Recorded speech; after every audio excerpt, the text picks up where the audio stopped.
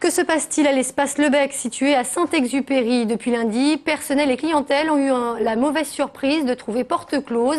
C'est l'indication donnée, ce petit écriteau indiquant une fermeture pour une durée indéterminée.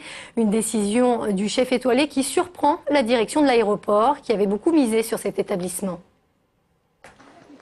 et euh, exploiter lui-même ce restaurant. Euh, nous lui avons au maximum facilité la chose puisqu'aujourd'hui c'est une exploitation qui se fait sans paiement de loyer ni même de redevance. Je ne peux pas cacher aujourd'hui qu'une fermeture inopinée, non prévenue euh, comme celle-ci est extrêmement préjudiciable, non seulement bien sûr à l'aéroport, non seulement à SSP, mais à l'ensemble de la clientèle qui fréquente la plateforme.